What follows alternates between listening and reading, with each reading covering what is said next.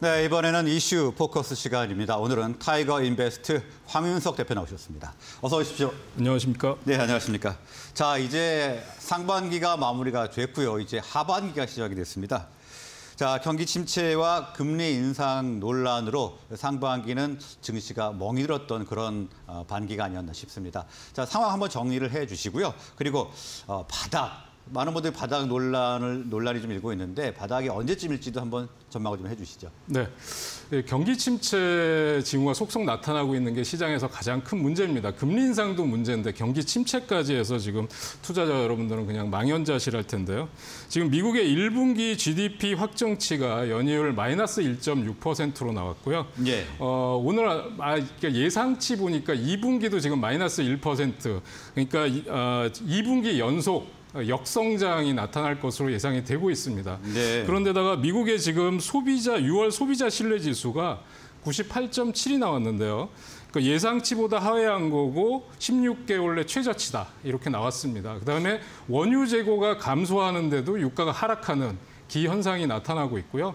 그래서 지금 WTI가 110달러 밑으로 내려가 있고 비트코인은 지금 2만 달러가 붕괴가 되면서 네. 어, 지금 투자자 여러분들이 거의 그 패닉셀 쇼크에 빠져 있는 상태라고 말씀드릴 수 있겠습니다. 네, 일단 뭐 GDP 성장률이 이렇게 마이너스가 나왔는데 2분기 연속이면 경기 침체 아닌가요? 그렇습니다. 사실 그런데 파월 의장이 좀 오락가락하는 멘트를 한 것도 시장에서 굉장히 불안하게 보이는 요인, 요인입니다. 그러니까 네. 미국 경제는 탄탄하다, 어, 그 금리 인상을 견딜만하다, 뭐 미, 이제 금리 인상을 막 금리 인상을 하는 이유가 인플레를 잡기 위해서 금리 인상을 할 수밖에 없다라고 했는데 예. 그러면서 미국 경제의 연착륙은 보장할 수 없다 또 이런 멘트를 했어요. 네. 그러니까 사실상 경기 침체를 인정하는 멘트였다. 그래서 어, 시장 지금에서 요동을 치는 그런 흐름이 나타나고 있습니다. 그래서 지금 그 인플레 피크아웃이 언제 나타나느냐 이게 가장 중요한 변수가 될 것 같습니다. 그래서 그렇죠. 그 CPI 이제 발표가 했는데 어, 이제 8.5, 8.3, 8.1에서 8.6까지 다시 올라가는 게 나타나고 있어서요. 그래서 어, 지금 CPI가 어, 피크아웃을 확인해 주느냐 여부가 중요한 변수가 될 것 같고요. 6월 CPI를 확인을 좀 반드시 해봐야겠네요. 네, 그렇습니다. 그리고 한편으로 보면 지금 러시아가 계속 그 우크라이나 전쟁을 통해서 EU에 천연가스를 공급 중단을 하고 곡물 가격이 계속 급등하고 있어서 물가 불안은 여전한 상태인데 그러니까 경기 침체가 무서운 이유는 뭐냐면 어, 수요 자체가 급감하면서 어, 이제 그 주문이 줄어들기 때문에 기업들 입장에서는 생산에서 위축이 될 수밖에 없고요. 그러면서 경기 전반에 악영향을 주면서 어, 성장의 그늘이 들어선다. 이게 가장 큰 문제라고 말씀드릴 수 있겠습니다. 네. 자 그리고 이제 뭐 엎친 데 덮친 격인지요. 어, 악재들이 속출을 하고 있습니다. 어, 현대차 같은 경우에는 독일 검찰의 압수수색도 받았고 네. 상황을 좀 정리해 볼까요? 네, 그래서 이게 악, 약세장의 특징이 뭐냐면 좀 전에 말씀해 주신 대로 정말 악재에 민감한 흐름이 나타나고 있습니다. 그래서 어, 순식간에 급락하는 것 때문에 투자자들이 손을 쓸 수 없어서 많이 당황하시기 하는데요. 몇 가지 정리를 해보면 좀 전에 말씀해 주신 대로 현대차가 독일 현지 법인에서 압수수색을 했었죠. 그래서 네. 배기가스 조작 혐의로 해서 급락을 한 이후에 오늘 좀 반등이 나오고 있고요. LG 에너지 솔루션은 1조 7천억 규모의 아리조나 공장 배터리 투자에 대해서 전면 재검토를 한다 그래서 2차 전지 관련주들이 또 하락을 했었습니다. 네. 그다음에 카카오 모빌리티 매각을 둘러싼 노사 간의 갈등이 벌어지고 있는 것도 카카오 주가에 영향을 줄 수 있다고 판단이 되고요.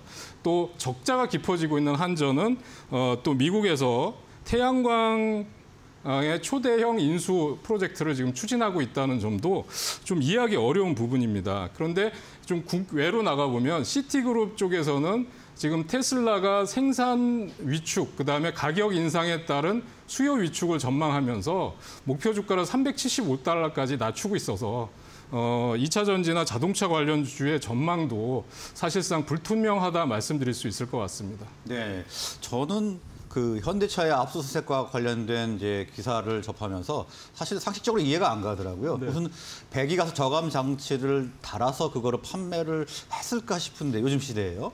그러니까 그게 이제 국내에서라면 사실상 불가능한 건데 예. 에, 독일 현지 법인에서 이제 현지 관련 업체들과의 문제이기 때문에 사실상 좀 이해가 안 가는 부분은 있지만 좀 결과를 지켜 판매 대수도 무려 21만 대나 되더라고요. 네, 그렇습니다. 그래서 좀 이해가 안 가는 부분이 있는데 하여튼 조사 결과를 좀 지켜봐야 될 것 같습니다. 봐야 될 것 같고요.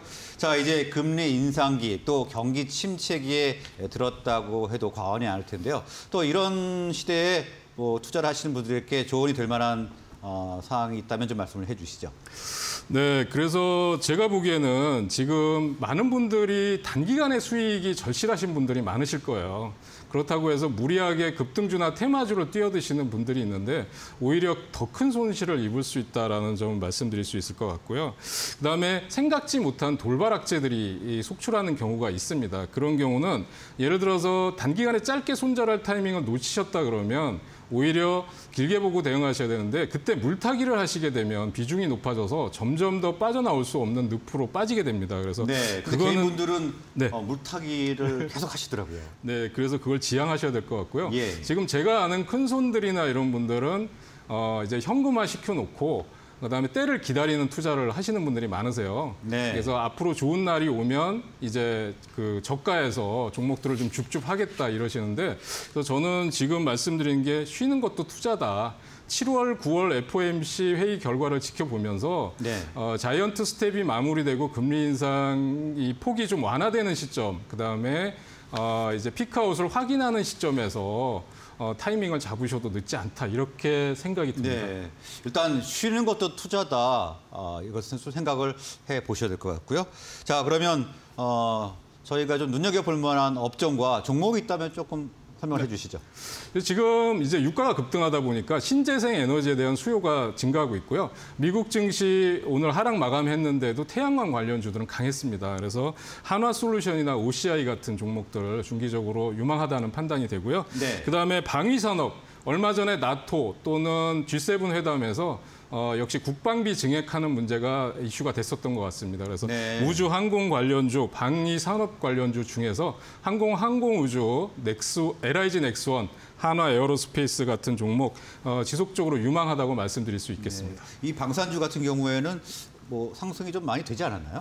지금 많이 되긴 했는데 한국항공우주 같은 경우를 보면 네. 지난번 이제 누리호 발사 성공 이후에 차익 매물이 좀 나와서 네. 단기 조정을 받, 받 받은 것으로 보이기 때문에 이제 지금 조금씩 진입해도 좋은 시점으로 판단이 됩니다. 네, 조금씩 진입해도 좋은 시점으로 이야기를 해주셨고 어, 제약과 바이오 쪽은 좀 어떻습니까? 제약 바이오 쪽도 지금 신약 개발 모멘텀으로 해서 네. 어, 지금 약세장에서 강세를 보이고 있는데요.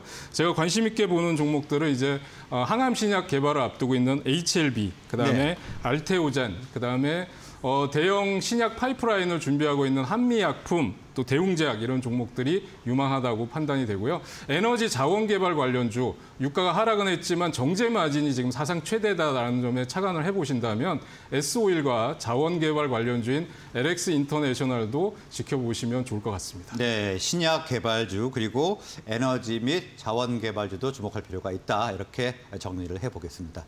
자, 오늘 말씀 여기서 마무리하겠습니다 고맙습니다.